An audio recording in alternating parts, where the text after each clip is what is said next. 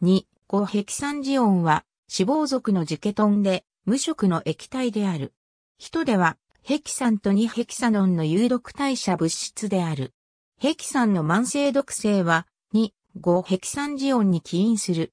症状は腕と足のヒリヒリと痙攣であり、その後、一般的な筋肉の衰弱が続く。重症例では骨格筋の萎縮が観察され、協調性及び視力が失われる。同様の症状は動物モデルで観察される。それらは末梢神経系の変性に関連づけられており、長く広い神経軸索の遠位部分から始まる。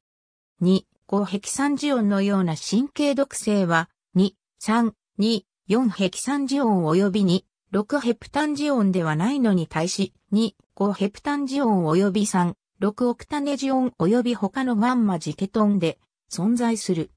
2、5ヘキサンジオンは、脂膚塩基形成によって軸索タンパク質中のリジン残機と反応し、続いて環状化合物化を行い、ピロールを与える。